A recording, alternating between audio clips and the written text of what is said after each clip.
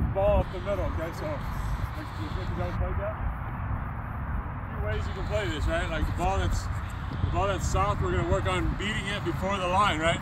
So we're gonna beat it here, and we're gonna go back back feet here, okay? Work on it. It's, it's a difficult feed. The tendency is gonna want to be here, and you're gonna miss there. Okay, so you almost gotta throw it almost back off your hip. Think about once I get here, it's almost like if I turn my hip, think about throwing it off your hip. That'll keep you on line right there, right? I think what ends up happening is guys go here, and then they're just trying to feed it, and your momentum's pushing you this way, and that's where we air mail, okay? So if you can think about it, we're gonna go soft ground ball up the middle. We're gonna get here, we're gonna try to beat it out the line and right off our hip, okay? Here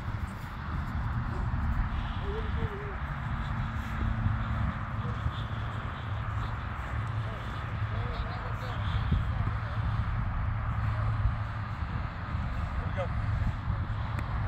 Good. Not too much, not that. Oh, gotta go up with it. Come on. Go, right. Come on, got handle it. You handle the ball.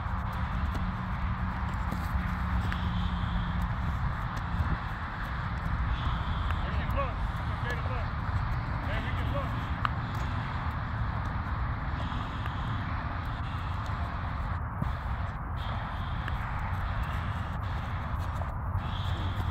Where, where are we missing?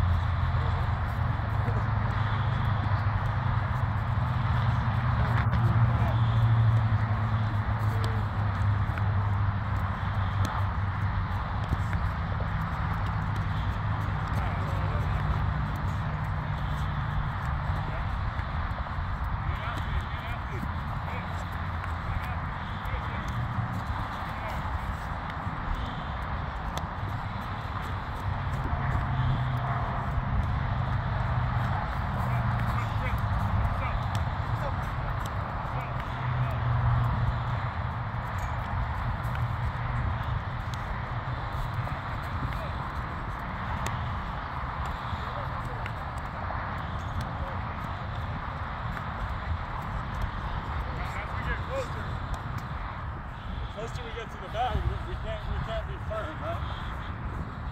If I if I hit it up the middle too much and we're here, I can't be firm with this flip. It's got to be more of a. I got to lob it up a little bit more, okay? Put some air under it. Same thing as like I go with a traditional flip, the ball's hard hit. As I get closer, it's more popping it up so he can see it and he can move his feet and throw. We can't be firm as we get closer to each other, right? The closer we get, the more the ball has to have some air under it, okay? So don't be so firm right here. We got our shortstops are like this on their on their heels, just not trying to get hit in the mouth, okay? So make sure we're soft with it. You gotta you gotta take care of the ball better. Like uh, on this play here, we got to get it out. I see this play get messed up so many times and no there's no out recording. You gotta make sure, even if I take extra steps, right? If I get here and I have to take an extra step, like at least get that out right there. That's, that's the most important thing, right?